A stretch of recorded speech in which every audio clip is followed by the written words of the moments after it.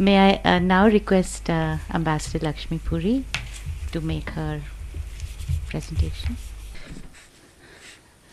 It is indeed a pleasure and a privilege for me to join this uh, very timely seminar on engendering nuclear disarmament and to be in the company of what I would say the Maharathis of the peace and security world, the disarmament world, um, and uh, to, you know, as you said, to bring some focus on uh, in Meenakshi ji uh, in your very eloquent and comprehensive uh, uh, presentation on the engendering of uh, disarmament and the quest for peace.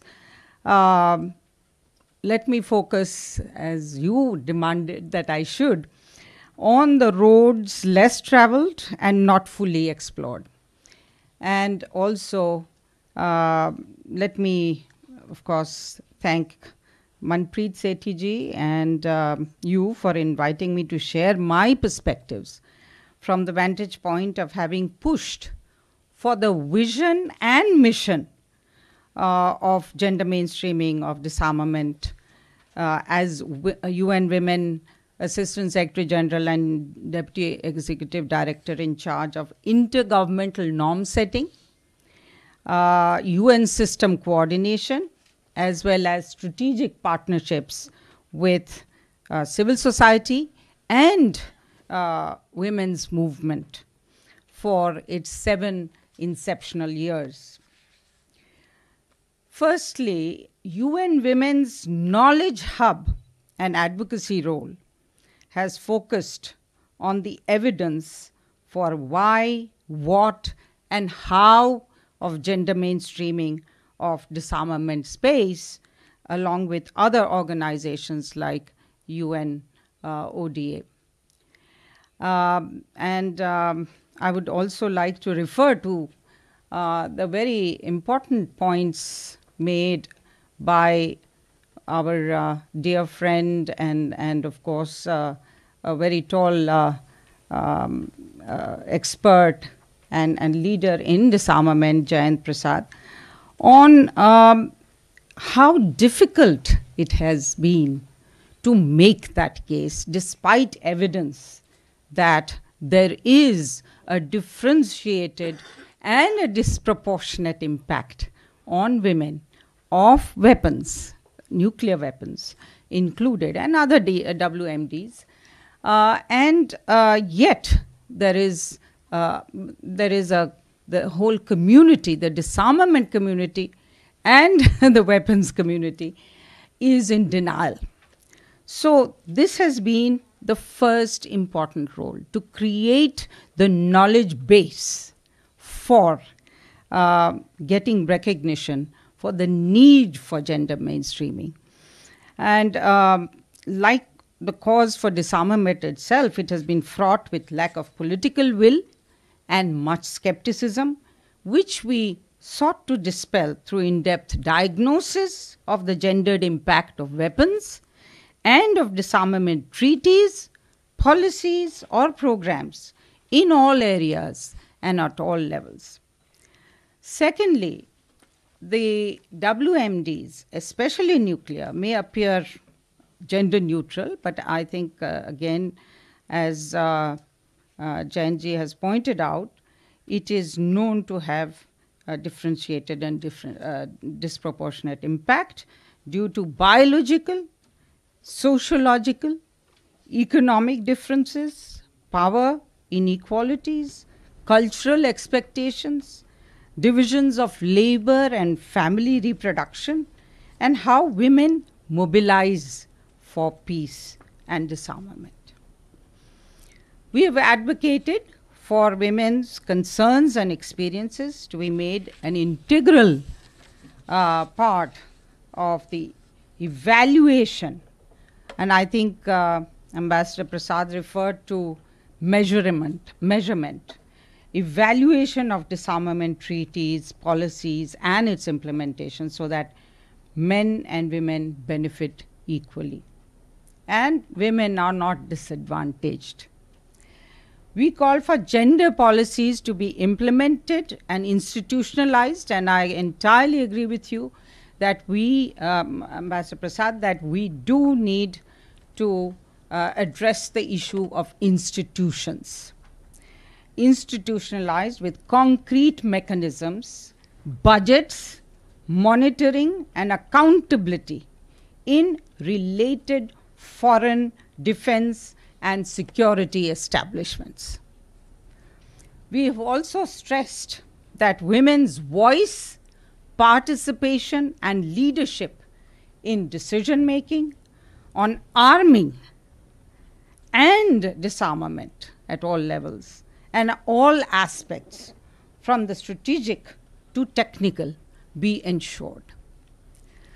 So we drew upon, of course, the glorious examples of Prime Minister Indira Gandhi. And I was talking to another uh, uh, expert and leader in disarmament, uh, Sheel Kant Sharma, Ambassador Sheel Kant Sharma.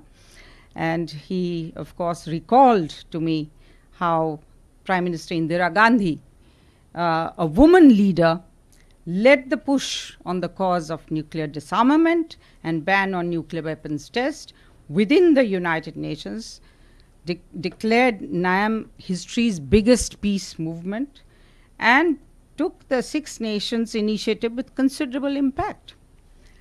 We also, of course, cited her example as a role model, but also Nobel Prize winning Alva M- Myrdal, or as you referred, Meenakshi to Greenham Commons, and other women protest and peace movements as exemplar, exemplars, and some of them are still continuing. But as we all know, uh, the, the disarmament women's movement, as much as the larger disarmament movement at the popular level, as uh, someone mentioned, I was talking to Kanika, is comatose.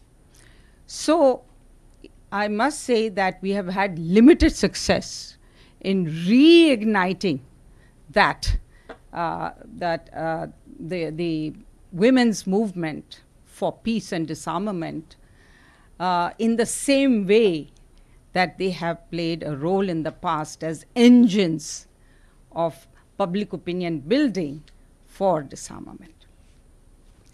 We have worked in strategic partnerships with women's organizations at all levels, global, regional, and national, to highlight their agency and leadership, past, present, and the potential to drive governments towards multilaterally negotiated, and this is the critical point multilaterally negotiated and monitored general and complete disarmament in WMDs, especially nuclear. Now, in its UN system coordination role, UN Women was able to draw uh, UNODA into joining the SWAP, that is System Wide Action Plan for Gender Equality and Women's Empowerment Accountability. UNODA adopted a gender policy both to guide its programs and support to governments and has been commended for, uh, uh, for setting out a transformative objectives on gender responsive peace and that's the term gender responsive peace because i think the term engendering con- creates confusion. Uh, though i had uh, very much coined it engendering trade engendering different sectors. But um, so gender mainstreaming or gender responsive uh, object uh, ge- peace security and disarmament processes. The other um, aspect that was most significant were the strides we were able to make in advancing the gender mainstreaming of disarmament related global norms and standards on WMD, nuclear and other weapons, and bring disarmament focus in the gender equality, women's empowerment, and women, peace, and security agenda.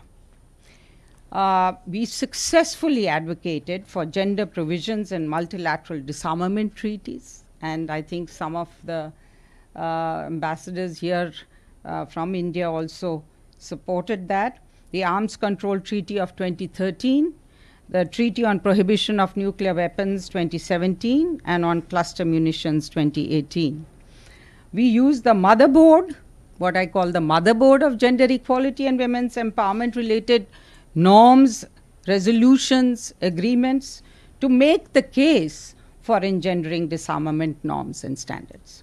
So we drew upon CEDAW, the foundational treaty signed by 187 countries, and the CEDAW committee was supported to come out with a recommendation on women, peace, and security in 2013, which triangled, if I will say, triangled the uh, triangled between the triangle the circle between gender equality, women's empowerment, women, peace, and security, and disarmament, and demanded that states follow an integrated approach.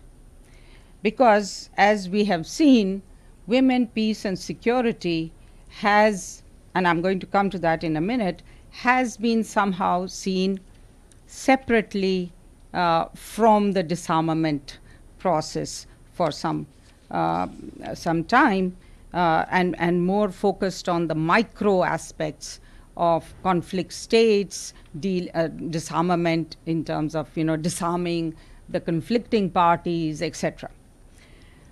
UN Women supported 20-year review of global, regional, and national levels of the Beijing Platform for Action, uh, Declaration and Platform for Action 1995, which is still a gold standard, considered a gold standard on, on women's rights, and highlighted particularly Para 28, which states take positive steps to ensure peace for the advancement of women and recognizing the leading role that women have played in the peace movement. We work actively towards general and complete disarmament under strict and effective international control and support negotiations on the conclusion without delay of a universal and multilaterally and effectively verifiable comprehensive nuclear test ban treaty which contributes to nuclear disarmament and the prevention of the proliferation of nuclear weapons in all its aspects. So, uh, most important was to also gender mainstream the UNGA First Committee resolutions on disarmament, including on WMDs. By now, 19 out of 61 of uh, these resolutions have women or gender references as against three when we started, while seeking dedicated resolutions on women's role. And the landmark UN General Assembly resolution, I think Meenakshi ji, you referred to it, uh, 65 69 on women disarmament, non proliferation, and arms control in 2010 kicked off the campaign to challenge the international disarmament community to achieve women's equal, full, and effective participation in all disarmament and security decision making. But in 2012, it was inscribed as a sub item under general and complete disarmament, and we ensured thereafter that a dedicated resolution was passed in the UNGA on this almost every year since and uh, SG reports therefore uh, presented. Similarly, in the UNSC consideration of resolutions, PRSTs, uh, on women, peace, and security, disarmament was recognized not only as a mechanism for conflict prevention, peacemaking, keeping, and building at the micro level in conflict countries, but with some effort, also disarmament and arms control was also seen as intersecting with the four pillars of the Women, Peace and Security agenda on participation, protection, prevention, relief, and recovery. And then, of course, the link to SDGs also was made. And that, that was the disarmament development, old disarmament development linkage, then uh, uh, updated and linked to SDGs and also including the climate change, uh, environment, everything brought together. Now, challenges remain in the voice participation and leadership of women in disarmament, in agenda setting. As you said, we need to make sure that not only are we are at the table, but shape of the table and what is on the menu and what is decided. Uh, but perhaps mirroring the challenges for nuclear and WMD disarmament and WPS agendas more broadly, there's continued low representation of women, especially in nuclear disarmament forums, averaging 20 to 35 percent, and 25 percent women reps and heads of delegations in the first committee. Women remain grossly underrepresented in many weapons related fields, especially nuclear, including technical arms control, and only 12% of ministers of defense globally are women. So, of the 10 Security Council resolutions on women, peace, and security, the issue is addressed only on, uh, with a focus on uh, small arms and light weapons and the Arms Trade Treaty, not so much on the WMDs and nuclear. In annual debates at the Security Council on these resolutions, fewer than 15 percent uh, of the states refer to arms control or disarmament. The women's movement are no longer, as I mentioned earlier, alas, the engines of the disarmament peace movement. So we need to change that through targeted and special measures to promote intensive research by women about women's role and, and women's needs and concerns in this whole context, on gender dimensions of WMD, foster technical expertise, participation among women in all areas of WMD nuclear and disarmament related technical forums, negotiations, verifications, monitoring, incentivize leadership in political and security decision making, and support women's groups as disarmament advocacy engines and constituencies. This is very important constituencies and engines. These are the two key roles that women's uh, groups have. Uh, and have had and must now, that must be brought back. Most of all, we need to change the mindsets of men. It is for, as, as the Charter says, it is in the minds of men. Since wars begin in the minds of men, it is in the minds of men that defenses of peace must be constructed. And who better than women to construct the structures of disarmament for peace and to reignite a global movement, uh, solidarity, scholarship, advocacy, and political will, most of all. Thank you.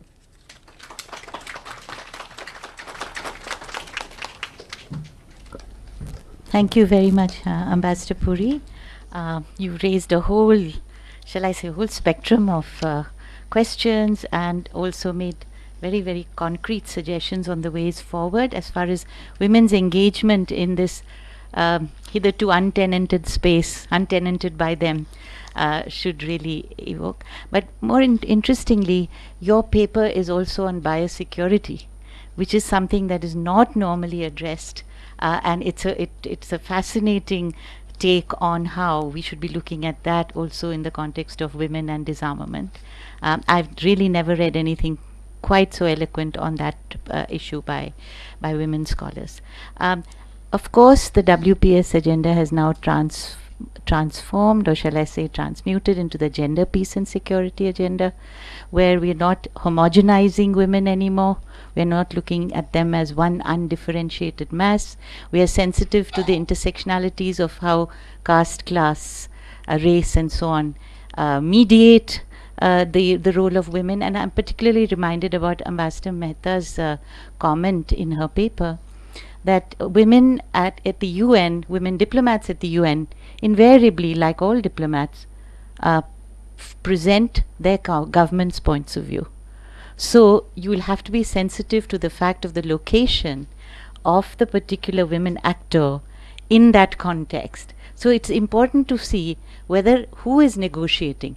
Is it the diplomats or the non diplomats who are negotiating, rather than is it the man or the woman? Which is why gender, the whole gender spectrum, becomes a much more, shall I say, um, valent term, uh, a much more weighty term, because it looks at the whole spectrum uh, rather than conflating uh, women with gender. And I think this is something that very often uh, gets sort of uh, sidelined that gender does not equal women, but it's the patterns and structures of power and decision making that operate and whose power, whose voice uh, gets heard and whose gets left out. And uh, so that that was something. So we do not essentialize women in the WPS agenda. It is now moving, am I right, Rita, into the GPS agenda, which you have written so extensively on. But thank you very, very much uh, for those very wise, insightful uh, comments, presentations which come from rich experience. We are not privileged to be in that space where the actual negotiations are happening. And I would say that much of civil society tends to reify that space, fetishize it in ways and, and, and doesn't try to comprehend the limits of the space. The other aspect is also the limits on women who are in the foreign, in the, in the security space is important. And as you said, data would reveal that, and a lot of research still needs to be done. But we are running late. Uh, truly, truly Indian in that sense, but there was so much food of food for thought around the table. May I request that we take a short tea break for 10 minutes and get back here in at 10:25, 11:25. Thank you very much.